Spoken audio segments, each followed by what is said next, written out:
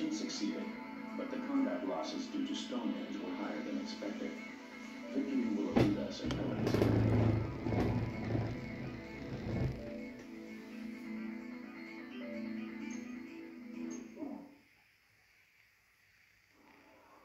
At some point, I realized my uncle, my would-be guardian, had vanished. Maybe the secret police dragged him off for some drunken comment he Even made. better. Maybe he chose to disappear. A flying. I didn't have anyone to turn to, so I found myself living as if I were a member of the Yellow Squadron.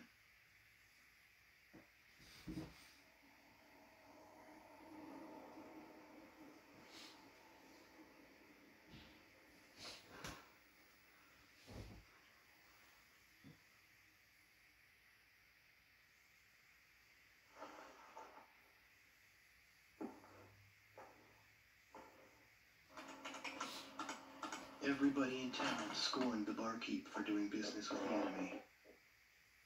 In reality, he and his family were members of the resistance, gathering up intelligence information from enemy customers. His daughter protected me. But that was only because of my tender age.